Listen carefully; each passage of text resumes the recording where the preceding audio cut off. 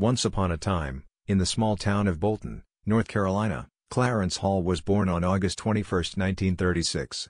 As a young boy, he attended Bolton Elementary School, where he built strong friendships and fostered a love for learning.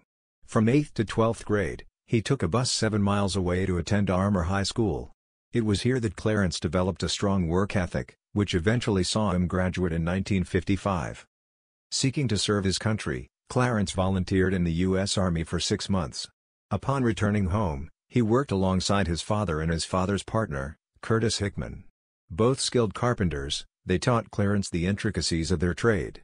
Tragically, his father passed away in 1956, at the age of 49, due to a massive heart attack.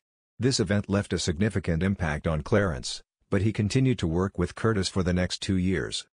In 1958, work slowed down, and Clarence decided to leave Bolton, settling in Baltimore, Maryland. There, he found a job as a carpenter's helper, working for an all-white company.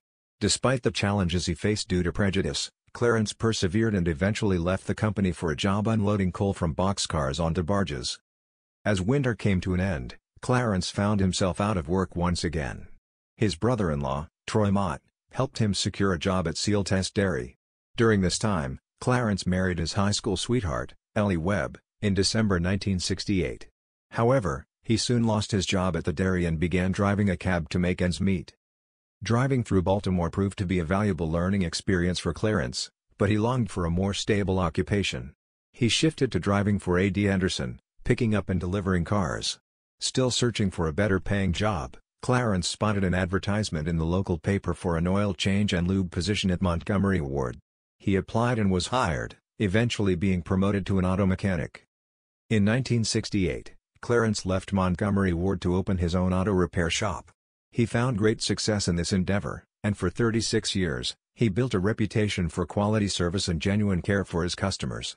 In 2004, at the age of 68, Clarence sold his auto repair shop and retired. Now, at the ripe old age of 86, Clarence Hall looks back on his life with pride and contentment. From a young boy in Bolton, North Carolina, to a respected auto mechanic and business owner, Clarence's journey is a testament to hard work, determination, and resilience in the face of adversity. True story.